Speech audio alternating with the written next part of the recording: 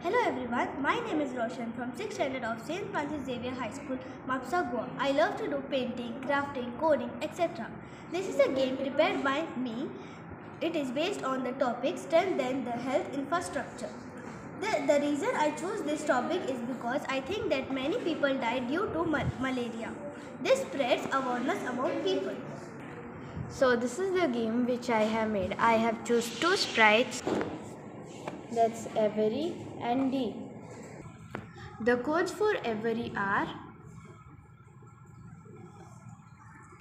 and these are the codes for Dee. And this is the output for my project.